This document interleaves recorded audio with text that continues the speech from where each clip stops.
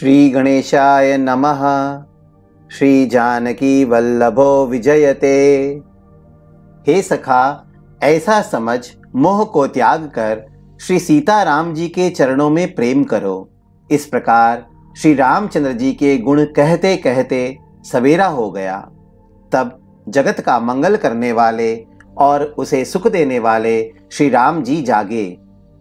शौच के सब कार्य करके नित्य पवित्र और सुजान श्री रामचंद्र जी ने स्नान किया, फिर बड़ का दूध मंगाया और छोटे भाई लक्ष्मण जी सहित उस दूध से सिर पर जटाएँ बनाई।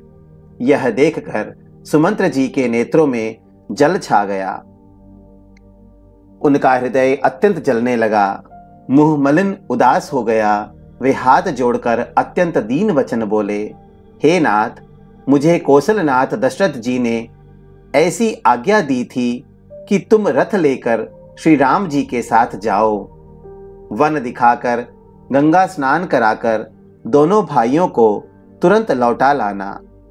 सब संशय और संकोच को दूर करके लक्ष्मण, राम, सीता को फिरा लाना। महाराज ने ऐसा कहा था, अब प्रभु, जैसा कहें, मैं वही करूँ। मैं आपकी बलिहारी हूँ।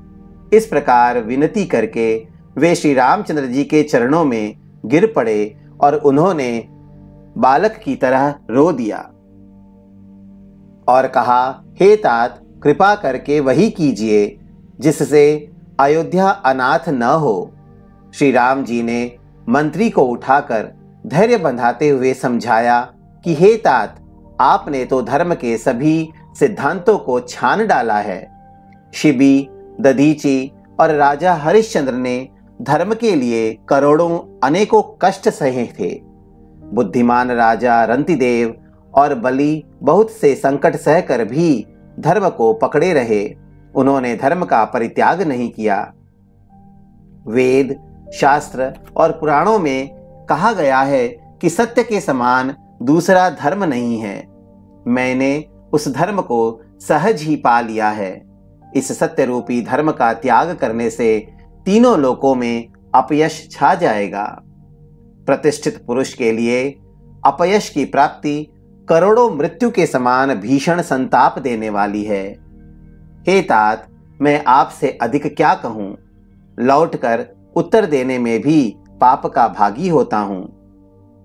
आप जाकर पिताजी के चरण पकड़कर करोड़ों नमस्कार के साथ ही हाथ जोड़कर विनती करिएगा कि हे तात, आप मेरी किसी बात की चिंता ना करें। आप भी पिता के समान ही मेरे बड़े हितैषी हैं। हे तात, मैं हाथ जोड़कर आपसे विनती करता हूँ कि आपका भी सब प्रकार से वही कर्तव्य है, जिसमें पिताजी हम लोगों के सोच में दुख ना पावें। श्री रघुनाथ जी और सुमंत्र का यह संवाद सुनकर निषाद राज कुटुंबियों सहित व्याकुल हो गया। फिर लक्ष्मण जी ने कुछ कड़वी बात कही। प्रभु श्री रामचंद्र जी ने उसे बहुत ही अनुचित जानकर उनको मना किया। श्री रामचंद्र जी ने सकुचाकर अपनी सौगंध दिलाकर सुमंत्र जी से कहा कि आप जाकर लक्ष्मण का यह संदेश न कहिएगा। सुमंत्र ने फिर राजा का संदेश कहा कि सीता वन के क्लेश न सह सकेंगी। अतएव जिस तरह सीता अयोध्या को लौट आवे, तुमको और श्री रामचंद्र जी को वही उपाय करना चाहिए। नहीं तो मैं बिल्कुल ही बिना सहारे के होकर वैसे ही नहीं जीऊँगा, जैसे बिना जल के मछली नहीं जीती। सीता के मायके पिता के घर और ससुराल में सब सुख है। जब तक यह विपत्ति दूर नहीं होती, तब तक वे जहाँ जब जहाँ जी चाहे, वहीं सुख से रहेंगी। राजा ने जिस तरह जिस दीनता और प्रेम से विनती की है, वह दीनता और प्रेम कहा नहीं जा सकता। कृपा निधान श्री रामचंद्र जी ने पिता का संदेश सुनकर सीता जी को करोड़ों, अनेकों प्रकार से सीख दी। उन्होंने कहा, जो तुम घर लौट जाओ तो सास, ससुर, गुरु, प्रियजन एवं कुटुंबी, सबकी चिंता मिट जाए। पति के वचन सुनकर जानकी जी कहती हैं, हे प्राणपति, हे परम स्नेही, सुनिए। हे प्रभो, आप करुणामय और परम ज्ञानी हैं, कृपा करके विचार तो कीजिए। शरीर को छोड़कर छाया अलग कैसे रोकी रह सकती है? सूर्य की प्रभा सूर्य को छोड़कर कहाँ जा सकती है? और चांदनी चंद्रमा को त्याग कर कहाँ जा सकती है? इस प्रकार पति को प्रेममयी विनती सुनाकर सीता जी मंत्री से सुहावनी वाणी कहने लगी, आप मेरे पिताजी और ससुर जी के समान मेरा हित करने वाले हैं। आपको मैं बदले में उत्तर देती हूँ, यह बहुत ही अनुचित है। किंतु हे तात, मैं आर्त होकर ही आपके सम्मुख हुई हूँ। आप बुरा न मानिएगा। आर्यपुत्र स्वामी के चरण कमलों के बिना जगत में जहाँ तक नाते हैं, सभी मेरे लिए व्यर्थ हैं। मैंने पिताजी के ऐश्वर्य की छटा देखी है, जिनके चरण रखने की चौकी से सर्व शिरोमणि राजाओं के मुकुट मिलते हैं, अर्थात बड़े बड़े राजा जिनके चरणों में प्रणाम करते हैं।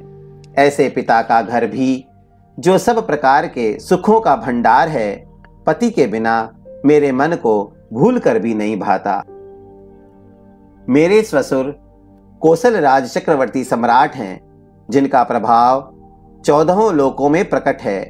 इंद्र भी आगे होकर जिनका स्वागत करता है और अपने आधे सिंहासन पर बैठने के लिए स्थान देता है।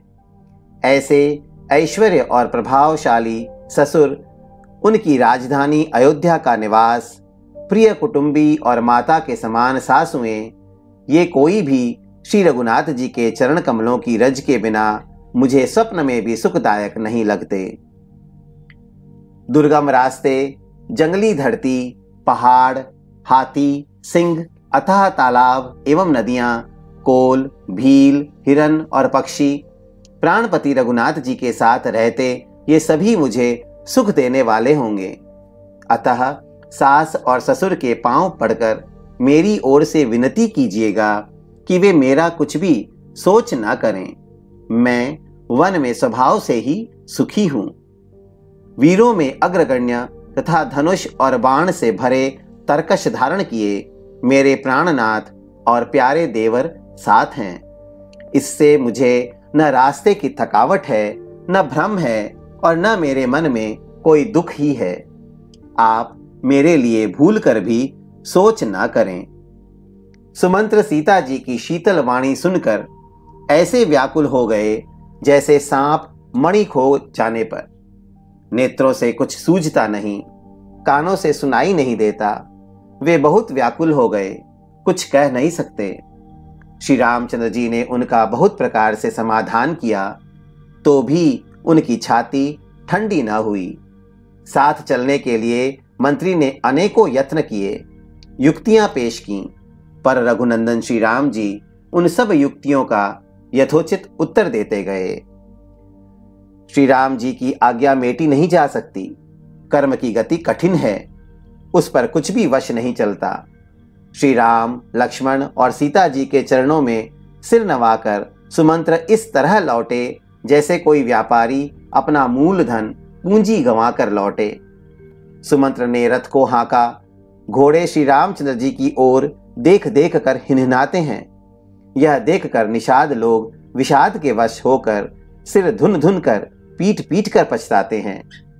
जिनके वियोग में पशु इस प्रकार व्याकुल हैं, उनके वियोग में प्रजा, माता और पिता कैसे जीते रहेंगे?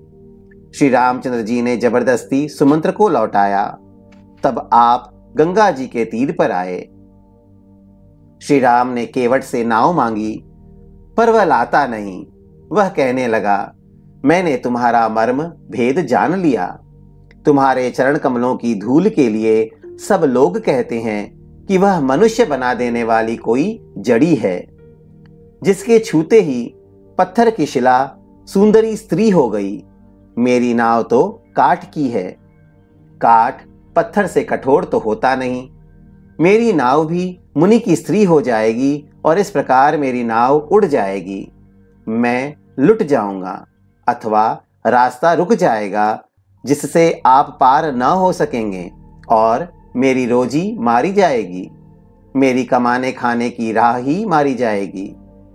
मैं तो इसी नाव से सारे परिवार का पालन पोषण करता हूँ। दूसरा कोई धंधा नहीं जानता।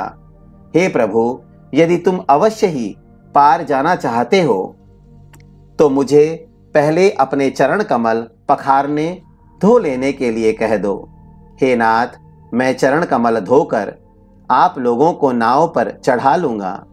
मैं आपसे कुछ उतराई नहीं चाहता। हे राम, मुझे आपकी दुहाई और दशरथ जी की सौगंध है। मैं सब सच सच कहता हूँ। लक्ष्मण भले ही मुझे तीर मारें, पर जब तक मैं पैरों को पखार न लूँगा तब तक हे तुलसीदास के नाथ, हे कृपालु, मैं पार नहीं उतारूँगा। केवट के प्रेम में लपेटे हुए अटपटे वचन सुनकर करुणाधाम श्री रामचंद्र जी, जानकी जी और लक्ष्मण जी की ओर देखकर हंसे। कृपा के समुद्र श्री रामचंद्र जी केवट से मुस्कुराकर बोले, भाई, तू वही कर जिससे तेरी नाव न जाए। जल्दी पानी ला और पैर धो ले। देर हो रही है, पार उतार दे। एक बार जिनका नाम स्मरण करते ही मनुष्य अपार भव सागर के पार उतर जाते हैं और जिन्होंने वामन अवतार में जगत को तीन पग से भी छोटा कर दिया था, दो ही पग में त्रिलोकी को नाप लिया था, वही कृपालु श्री रामचंद्र जी गंगा जी से पार उतारने के लिए केवट का निहोरा कर रहे हैं। प्रभु के इन वचनों को सुनकर गंगा जी की बुद्धि मोह से खिंच गई थी कि ये साक्षात भगवान होकर भी पार उतारने के लिए केवट का निहोरा कैसे कर रहे हैं परंतु समीप आने पर अपनी उत्पत्ति के स्थान पद नखों को देखते ही उन्हें पहचान कर देव नदी गंगा जी हर्षित हो गईं। वे समझ गईं कि भगवान नर लीला कर रहे हैं इससे उनका मोह नष्ट हो गया और इन चरणों का स्पर्श प्राप्त करके मैं धन्य होऊँगी, यह विचार कर वे हर्षित हो गईं। केवट श्री रामचंद्र जी की आज्ञा पाकर कठौते में भरकर जल ले आया। अत्यंत आनंद और प्रेम में उमंग कर वह भगवान के चरण कमल धोने लगा। सब देवता फूल बरसाकर सिहाने लगे कि इसके समान पुण्य की राशि कोई नहीं है। चरणों को धोकर और सारे परिवार सहित स्वयं उस जल चरणोदक को पीकर पहले उस महान पुण्य के द्वारा अपने पितरों को भव सागर से पार कर, फिर आनंद पूर्वक प्रभु श्री रामचंद्र को गंगा जी के पार ले गया। निषाद राज और लक्ष्मण जी सहित श्री सीता जी और श्री रामचंद्र जी नाव से उतरकर गंगा जी की रेत बालू में खड़े हो गए। तब केवट ने उतरकर दंडवत की। उसको दंडवत करते देखकर प्रभु को संकोच हुआ कि इसको कुछ दिया नहीं। पति के हृदय की जानने वाली सीता जी ने आनंद भरे मन से अपनी रत्न जटित अंगूठी अंगुल से उतारी। कृपालु श्री रामचंद्र जी ने केवट से कहा, नाव की उतराई लो। केवट ने व्याकुल होकर चरण पकड़ लिए। उसने कहा, हे नाथ, आज मैंने क्या नहीं पाया? मेरे दोष, दुख और दरिद्रता की आग आज बुझ गई है। मैंने बहुत समय तक मजदूरी की। विधाता ने आज बहुत अच्छी, भरपूर मजदूरी दे दी। हे नाथ, हे दीनदयाल, आपकी कृपा से अब मुझे कुछ नहीं चाहिए। लौटती बार आप मुझे जो कुछ देंगे, वह प्रसाद मैं सिर चढ़ा कर लूँगा। प्रभु श्री राम जी लक्ष्मण जी और सीता जी ने बहुत आग्रह या यत्न किया, पर केवट कुछ नहीं लेता। तब करुणा के धाम भगवान श्री रामचंद्र जी ने निर्मल भक्ति का वरदान देकर उसे विदा किया। फिर रघुकुल के स्वामी श्री रामचंद्र जी ने स्नान करके पार्थिव पूजा की और शिव जी को सिर नवाया। सीता जी ने हाथ जोड़कर गंगा जी से कहा, हे माता मेरा मनोरथ पूरा कीजिए, जिससे मैं पति और देवर के साथ कुशल पूर्वक लौट आकर तुम्हारी पूजा करूँ। सीता जी की प्रेम रस में सनी हुई विनती सुनकर तब गंगा जी के निर्मल जल में से श्रेष्ठ वाणी हुई। हे रघुवीर की प्रियतमा जानकी, सुनो, तुम्हारा प्रभाव जगत में किसे नहीं मालूम है? तुम्हारे कृपा दृष्टि से देखते ही लोग लोकपाल हो जाते हैं। सब सिद्धियाँ हाथ जोड़े तुम्हारी सेवा करती हैं। तुमने जो मुझको बड़ी विनती सुनाई, यह तो मुझ पर कृपा की और मुझे बढ़ाई दी है। तो भी, हे देवी, मैं अपनी वाणी सफल होने के लिए तुम्हें आशीर्वाद दूँगी। तुम अपने प्राणनाथ और देवर सहित कुशल पूर्वक अयोध्या लौटोगी। तुम्हारी सारी मन कामनाएँ पूरी होंगी और तुम्हारा सुंदर यश जगत भर में छा जाएगा। मंगल के मूल गंगा जी के वचन सुनकर और देव नदी को अनुकूल देखकर सीता जी आनंदित हुई। तब प्रभु श्री रामचंद्र जी ने निषाद राज गुह से कहा कि, भैया, अब तुम घर जाओ। यह सुनते ही उसका मुँह सूख गया और हृदय में दाह उत्पन्न हो गया। गुह हाथ जोड़कर दीन वचन बोला, हे रघुकुल शिरोमणि, मेरी विनती सुनिए। मैं नाथ आपके साथ रहकर रास्ता दिखाकर चार कुछ दिन चरणों की सेवा करके, हे रघुराज, जिस वन में आप जाकर रहेंगे, वहाँ मैं सुंदर पर्णकुटी, पत्तों की कुटिया बना दूँगा। तब मुझे आप जैसी आज्ञा देंगे। मुझे रघुवीर आपकी दुहाई है। मैं वैसा ही करूँगा। उसके स्वाभाविक प्रेम को देखकर श्री रामचंद्र जी ने उसको साथ ले लिया। इससे गुह के हृदय में बड़ा आनंद हुआ। फिर गुह निषाद राज ने अपनी जाति के लोगों को बुला लिया और उनका संतोष करा के तब उनको विदा किया।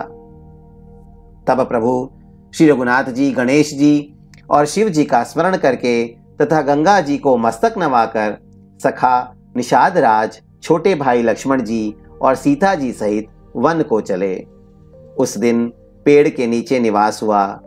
लक्ष्मण जी और सखा गुह ने विश्राम की सब सुव्यवस्था कर दी। प्रभु श्री रामचंद्र जी ने सवेरे प्रातः काल की सब क्रियाएँ करके जाकर तीर्थों के राजा प्रयाग के दर्शन किए। उस राजा का सत्य मंत्री है, श्रद्धा प्यारी स्त्री है और श्री वेणी माधव जी सरीखे हितकारी मित्र हैं। चार पदार्थों, धर्म, अर्थ, काम और मोक्ष से भंडार भरा है और वह पुण्यमय प्रांत ही उस राजा का सुंदर देश है। प्रयाग क्षेत्र ही दुर्गम, मज़बूत और सुंदर गढ़ किला है, जिसको स्वप्न में भी पाप रूपी शत्रु नहीं पा सके हैं। संपूर्ण तीर्थ ही उसके श्रेष्ठ वीर सैनिक हैं, जो पाप की सेना को कुचल डालने वाले और बड़े रणधीर हैं। गंगा, यमुना और सरस्वती का संगम ही उसका अत्यंत सुशोभित सिंहासन है। अक्षय वट छत्र है, जो मुनियों के भी मन को मोहित कर लेता है। यमुना जी और गंगा जी की तरंगे उसके श्याम और श्वेत चमर हैं, जिनको देखकर ही दुख और दरिद्रता नष्ट हो जाती हैं। पुण्यात्मा, पवित्र साधु उसकी सेवा करते हैं और सब मनोरथ पाते हैं। वेद और पुराणों के समूह भाट हैं, जो उसके निर्मल गुण गणों का बखान करते हैं। पापों के समूह रूपी हाथी के मारने के लिए सिंह रूप प्रयागराज का प्रभाव महत्व महात्मय कौन कह सकता है? ऐसे सुहावने तीर्थराज का दर्शन कर सुख के समुद्र रघुकुल श्रेष्ठ श्री राम जी ने भी सुख पाया। उन्होंने अपने श्रीमुख से सीता जी, लक्ष्मण जी और सखा गुह को तीर्थराज की महिमा कहकर सुनाई। तदनंतर प्रणाम करके वन और बगीचों को देखते हुए और बड़े प्रेम से महात्मा कहते हुए इस प्रकार श्री राम ने आकर त्रिवेणी का दर्शन किया, जो स्मरण करने से ही सब सुंदर मंगलों को देने वाली है। फिर आनंद पूर्वक त्रिवेणी में स्नान करके शिव जी की सेवा, पूजा की और विधि पूर्वक तीर्थ देवताओं का पूजन किया। स्नान, पूजन आदि सब करके तब प्रभु श्री राम जी भरद्वाज जी के पास आए। उन्हें दंडवत करते हुए ही मुनि ने हृदय से लगा लिया। मुनि के मन का आनंद कुछ कहा नहीं जाता। मानो उन्हें ब्रह्मानंद की राशि मिल गई हो। मुनीश्वर भरद्वाज जी ने आशीर्वाद दिया। उनके हृदय में ऐसा जानकर अत्यंत आनंद हुआ कि आज विधाता ने श्री सीता जी और लक्ष्मण जी सहित प्रभु श्री रामचंद्र जी के दर्शन कराकर मानो हमारे संपूर्ण पुण्यों के फल को लाकर आँखों के सामने कर दिया। कुशल पूछकर मुनिराज ने उनको आसन दिए और प्रेम सहित पूजन करके उन्हें संतुष्ट कर दिया। फिर मानो अमृत के ही बने हो, ऐसे अच्छे अच्छे कंद मूल फल और अंकुर ला कर दिए। सीता जी, लक्ष्मण जी और सेवक गुह सहित श्री रामचंद्र जी ने उन सुंदर मूल फलों को बड़ी रुचि के साथ खाया। थकावट दूर होने से श्री रामचंद्र जी सुखी हो गए। तब भरद्वाज जी ने उनसे कोमल वचन कहे, हे राम, आपका दर्शन करते ही आज मेरा तप, तीर्थ सेवन और त्याग सफल हो गया। आज मेरा जप योग और वैराग्य सफल हो गया और आज मेरे संपूर्ण शुभ साधनों का समुदाय भी सफल हो गया। लाभ की सीमा और सुख की सीमा प्रभु के दर्शन को छोड़कर दूसरी कुछ भी नहीं है। आपके दर्शन से मेरी सब आशाएँ पूर्ण हो गई। आप कृपा करके यह वरदान दीजिए कि आपके चरण कमलों में मेरा स्वाभाविक प्रेम हो। जब तक कर्म वचन और मन से छल छोड़कर मनुष्य आपका दास नहीं हो जाता, तब तक करोड़ों उपाय करने से भी स्वप्न में भी वह सुख नहीं पाता।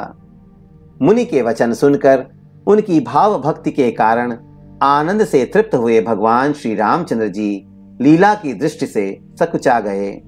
तब अपने ऐश्वर्य को छिपाते हुए श्री रामचंद्र जी ने भरद्वाज मुनि का सुंदर सुयश करोड़ों अनेकों प्रकार से कहकर सबको सुनाया। उन्होंने कहा, हे मुनीश्वर, जिसको आप आदर दें, वही बड़ा है और वही सब गुण समूहों का घर है। इस प्रकार श्री राम जी और मुनि भरद्वाज जी दोनों परस्पर विनम्र हो रहे हैं और अनिर्वचनीय सुख का अनुभव कर रहे हैं। यह श्री राम, लक्ष्मण और सीता जी के आने की खबर पाकर प्रयाग निवासी ब्रह्मचारी, तपस्वी मुनि, सिद्ध और उदासी सब श्री दशरथ जी के सुंदर पुत्रों को देखने के लिए भरद्वाज जी के आश्रम पर आए। श्री रामचंद्र जी ने सब किसी को प्रणाम किया। नेत्रों का लाभ पाकर सब आनंदित हो गए और परम सुख पाकर आशीर्वाद देने लगे। श्री राम जी के सौंदर्य की सराहना करते हुए वे लौटे। श्री राम जी ने रात को वहीं विश्राम किया और प्रातःकाल प्रयागराज का स्नान करके और प्रसन्नता के साथ मुनि को सिर नवाकर श्री सीता जी, लक्ष्मण जी और सेवक गुह के साथ वे चले। चलते समय बड़े प्रेम से श्री राम जी ने मुनि से कहा, हे नाथ, बताइए, हम किस मार्ग से जाएँ? मुनि मन में हंसकर श्री राम जी से कहते हैं कि आपके लिए सभी मार्ग सुगम हैं। फिर उनके साथ के लिए मुनि ने शिष्यों को बुलाया। साथ जाने की बात सुनते ही चित्त में हर्षित हो, कोई पचास शिष्य आ गए। सभी का श्री राम जी पर अपार प्रेम है। सभी कहते हैं कि मार्ग हमारा देखा हुआ है। तब मुनि ने चुनकर चार ब्रह्मचारियों को साथ कर दिया, जिन्होंने बहुत जन्मों तक सब सुकृत पुण्य किए थे। श्री रघुनाथ जी प्रणाम कर और ऋषि की आज्ञा पाकर हृदय में बड़े ही आनंदित होकर चले। जब वे किसी गाँव के पास होकर निकलते हैं, तब स्त्री पुरुष दौड़कर उनके रूप को देखने लगते हैं।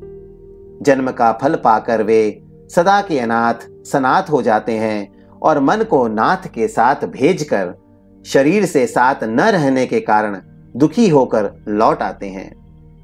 तदनंतर श्री राम जी ने विनती करके चारों ब्रह्मचारियों को विदा किया। वे मन चाही वस्तु, अनन्य भक्ति पाकर लौटे।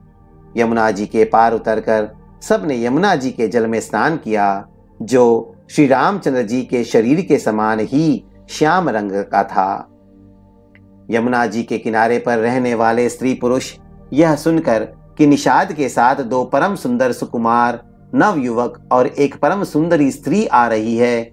सब अपना अपना काम भूलकर दौड़े और लक्ष्मण जी, श्री राम जी और सीता जी का सौंदर्य देखकर अपने भाग्य की बड़ाई करने लगे। उनके मन में परिचय जानने की बहुत सी लालसाएँ भरी है, पर वे नाम गाँव पूछते सकुचाते हैं। उन लोगों में जो वयोवृद्ध और चतुर थे, उन्होंने युक्ति से श्री रामचंद्र जी को पहचान लिया। उन्होंने सब कथा सब लोगों को सुनाई कि पिता की आज्ञा पाकर ये वन को चले हैं। यह सुनकर सब लोग दुखित हो पछता रहे हैं कि रानी और राजा ने अच्छा नहीं किया। उसी अवसर पर वहाँ एक तपस्वी आया, जो तेज का पुंज, छोटी अवस्था का और सुंदर था। उसकी गति कवि नहीं जानते, अथवा वह कवि था जो अपना परिचय नहीं देना चाहता। वह वैरागी के भेष में था और मन, वचन तथा कर्म से श्री रामचंद्र जी का प्रेमी था।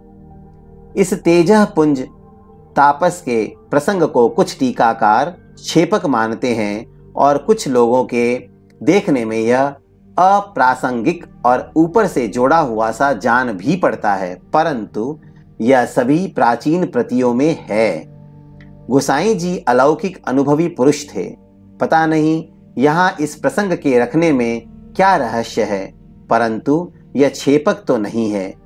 इस तापस को जब कवि अलखित गति कहते हैं तब निश्चय पूर्वक कौन क्या कह सकता है?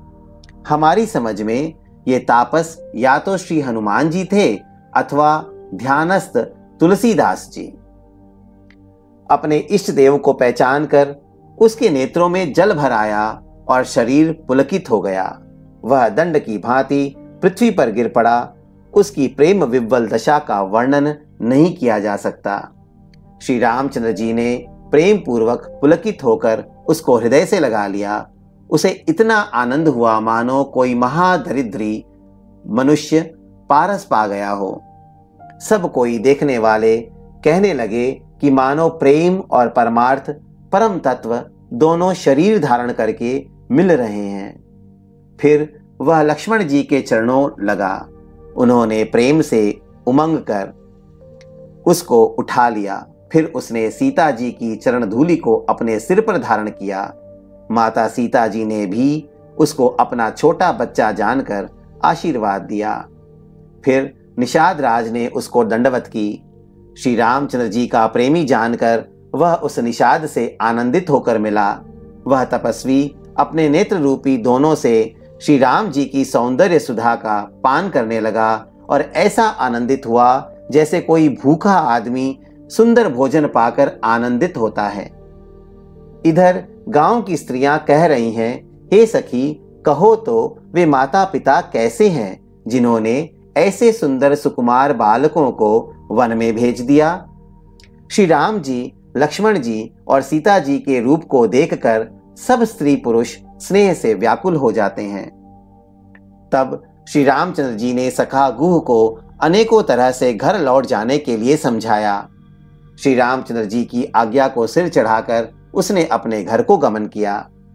फिर सीता जी श्री राम जी और लक्ष्मण जी ने हाथ जोड़कर यमुना जी को पुनः प्रणाम किया और सूर्य कन्या यमुना जी की बड़ाई करते हुए सीता जी सहित दोनों भाई प्रसन्न पूर्वक आगे चले। रास्ते में जाते हुए उन्हें अनेकों यात्री मिलते हैं। वे दोनों भाइयों को देखकर उनसे प्रेम पूर्वक कहते हैं कि तुम्हारे सब अंगों में राज चिन्ह देखकर हमारे हृदय में बड़ा सोच होता है। ऐसे राज चिन्हों के होते हुए भी तुम लोग रास्ते में पैदल ही चल रहे हो। इससे हमारी समझ में आता है कि ज्योतिष शास्त्र झूठा ही है। भारी जंगल और बड़े बड़े पहाड़ों का दुर्गम रास्ता है। जिस पर तुम्हारे साथ सुकुमारी स्त्री है। हाथी और सिंहों से भरा यह भयानक वन देखा तक नहीं जाता। यदि आज्ञा हो तो हम साथ चलें। आप जहाँ तक जाएँगे, वहाँ तक पहुंचाकर फिर आपको प्रणाम करके हम लौट आवेंगे। इस प्रकार वे यात्री प्रेमवश पुलकित शरीर हो और नेत्रों में प्रेमाश्रों का जल भरकर पूछते हैं।